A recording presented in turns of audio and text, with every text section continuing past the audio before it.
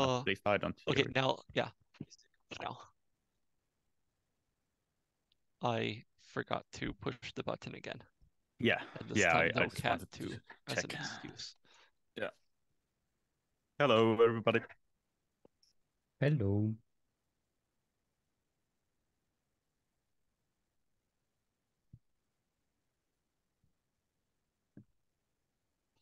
Oh, well, what a day. We've had quite the course, haven't we?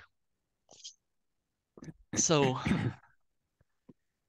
yeah, we had a nice long discussion yesterday after we were done about where we were like oh, let me sc- like where we were. Is this too hard? Like what like what's sort of the role of this course in the whole learning process? Is anyone expected to know this after the course? Or is it to like as Yeah, what what is the what's is the main main learning outcome? Right. Yeah. yeah that that should be expected or could be expected? yeah maybe Yeah, we were- want to oh go ahead Yeah. yeah we were talking uh, quite a bit about like uh like this uh idea of like n plus one that like you don't necessarily understand ev- everything when you first encounter a subject but then you encounter it later on like that has happened at least for me in multiple occasions so maybe maybe hopefully we can be the n to your n plus one so Mm. Yeah. I propose we have a Hmm. bigger discussion of the learning outcomes after the after yeah we after start the hour starts. So because Yeah. I think this is important. Mm. Um, Yeah, for now I can say that I'm waiting for having some ice cream. Like there's an ice cream truck that comes every now and then, and it's like it's the best thing on every Friday if it comes. Like I hope it comes this Oh. Friday because I'm ready for some ice cream. yeah, like is you mean in like where you live Uh, in Viikki, in Viikki? Okay, Yeah, yeah, yeah. yeah. yeah, right, right to the doorstep. It comes there, and children scream and go get fed some ice Do cream. do they still have the same say do do do do do the the Uh, no, it? no, they they don't have the the the tra- traditional uh, Oh, jingle. is there oh. anything now or like There is some jingle, but I can't remember. But our cat goes completely berserk when, when he hears it. Yeah, Yeah. like what? What is this? who's coming? Who's who's attacking now? Yeah, and maybe there are some Who's like attacking? frequencies that are like like not bad for us, but like really bad Mm, for cats or dogs. mm, Mm. mm. Let's see, I I can cat? imagine.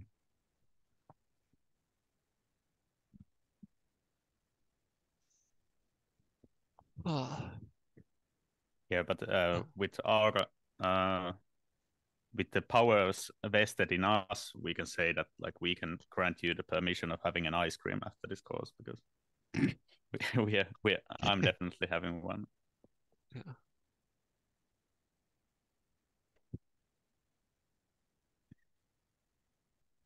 Yeah. Okay, so we're getting getting uh some happy and some overwhelmed. And both are very understandable feelings.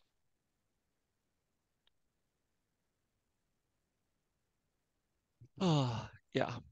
Towa- So, um, towards towards day one and two. Yeah. Oh, was I supposed to tell you how I'm using the cluster to process videos? Yeah, and So- I think this might be a good point before we start the actual. Yeah. So let's see. So we record four hours of video from this and it needs processing. And this is basically a lesson in all of the different tools we're teaching you and we that you could be using for your stuff. So first, the raw videos are recorded in a Git repository using Git Annex because they're large files. I have some rules set up that will automatically synchronize this between my computer where I'm recording and the cluster. And the rules are set up with Git Annex so that way it only sends the audio files to the cluster. So on the cluster, I use OpenAI's Whisper tool to make transcripts, make subtitles for them. And to manage this, I have a makefile. So the makefile is some basic automation of things. So on my computer, I can do make AAC, which extracts out the audio from the video.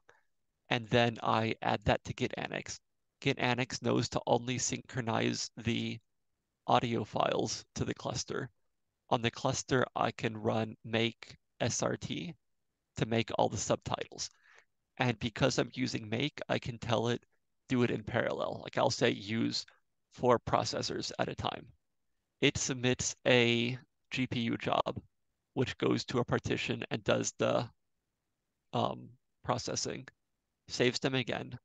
I can add it to Git and resync them back to my own computer. For all the segments and stuff, we also use Git for this to synchronize it around. So we have a plain text file in YAML format, which has the workshop description and then all the cut points in the video and then a tool that I can run. So, so far I'm running it on my own computer to do the encoding. I guess I could switch to the cluster someday. But anyway, so I run that and it does the encoding. And yeah, it's all somewhat automatic and all tracked with version control so it can sync between the different computers fairly well. Um, let's see, are there any other points there? So it uses the cluster, it uses Git, it uses version control, no, that's Git. It uses plain text files being edited with a console editor. The it uses make, make, file files for automate. yeah, for automation.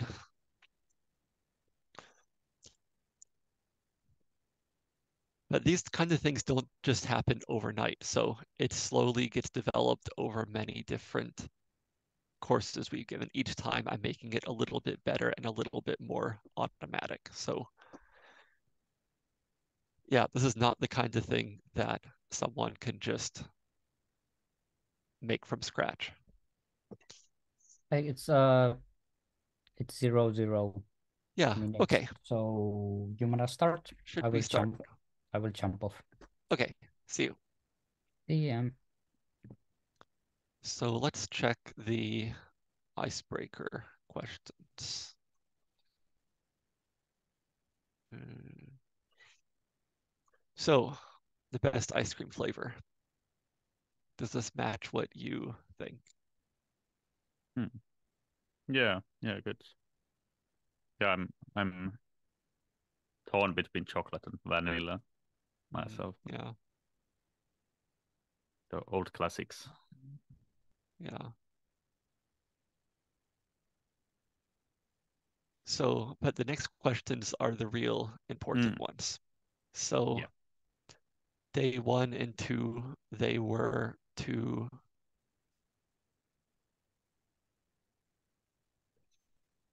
Okay, that compacted it down.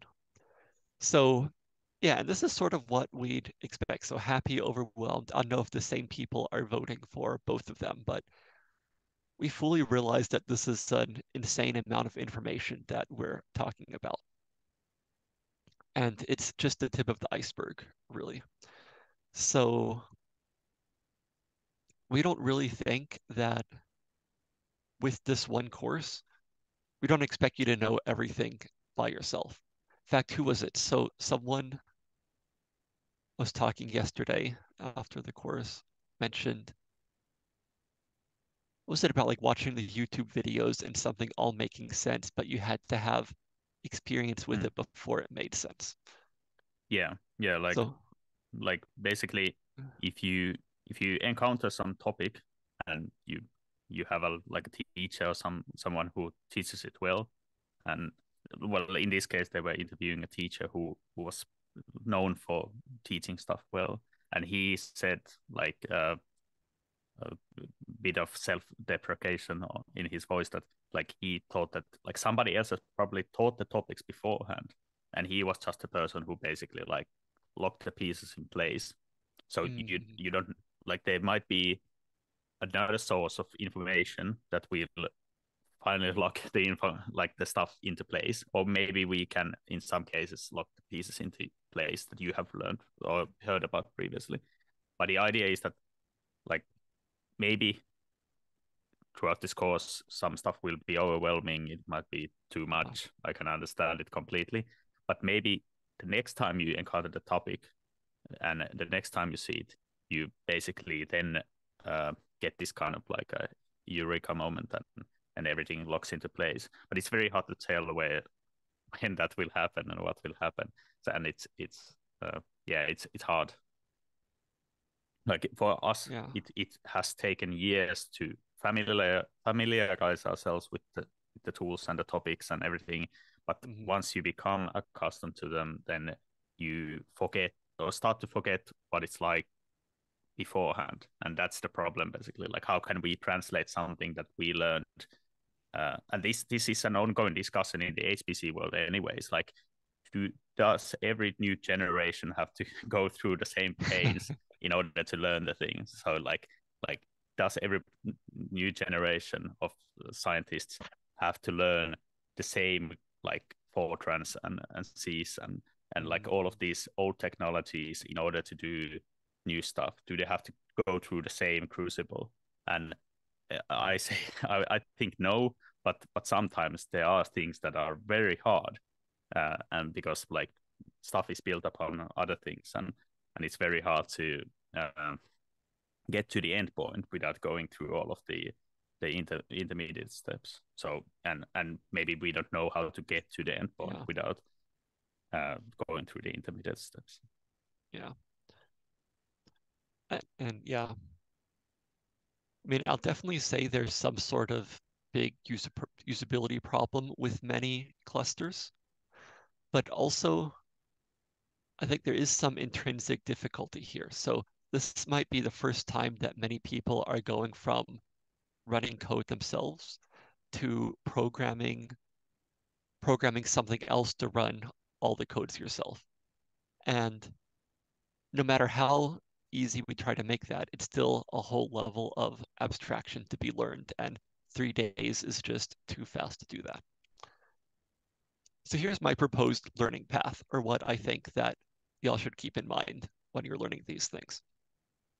So if this is feeling overwhelming for you, then get what you can now. Don't worry about knowing everything. But you get sort of the big picture of what's even possible and you'll know in the future in weeks or months or years okay i need to do this particular thing. You can come back and check the material. Maybe at that point you're ready and it makes sense and you can learn yourself. But if not which is completely okay. Like for example if next week it's difficult come to our help sessions. Come to our garage if you're at Aalto and basically say hey i was at the course yesterday and or last week, and I need to do this parallel stuff. Here's my code. Can you show me how to get started? And I'll be like, yeah, okay, sure. So we'll point to you, like we can even write the basic example script for you to put it all in place. And once you have that model, then you can be modifying stuff. And over time, you'll get more and more comfortable until, who knows, maybe next year you'd come to this course again to see what you're missing. And then it will all start clicking and making sense.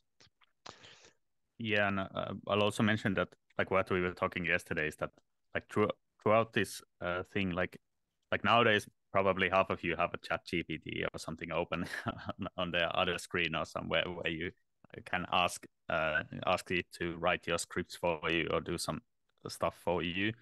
And in these cases, it's important to like remember that in order to get like good answers uh, to from like from a Google search from get good answers from ChatGPT or something, it's good idea to learn how learn the concepts. Like what sort of questions are you going to be asking?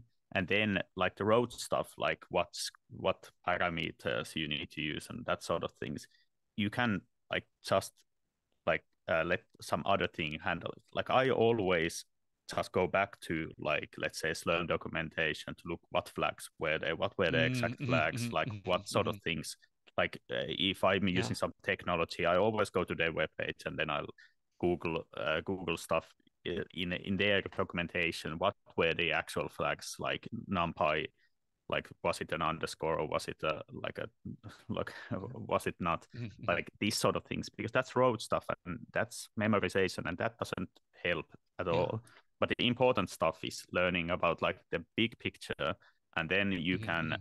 If you know the big picture Yeah. you can ask the right questions and right find the right flags and that's what we are focusing on today and hopefully Yeah. uh you'll uh, get onto it Yeah. uh, i'll no, yeah so are we Yeah. do you think we are ready for starting the parallel or, Yeah, I guess so. or what's the yeah maybe i'll mention uh if you want to share my So, screen. Uh, yeah, Simo made So, this nice yeah so demonstration picture yeah, here. yeah. So i so if you know the know the uh the movie movie uh, shining like uh, i i thought about this today. So there will be some word salad coming your way. So because like there's uh, like thousands of different technologies probably that uh, implement like this parallel stuff this this this openmp openmpi cuda amba Bish, like there's all kinds of like different fancy words and fancy technologies that implement the parallel stuff we are going to be talking about like multiprocessing uh, parallel pools all kinds of stuff. Uh, but this is not important.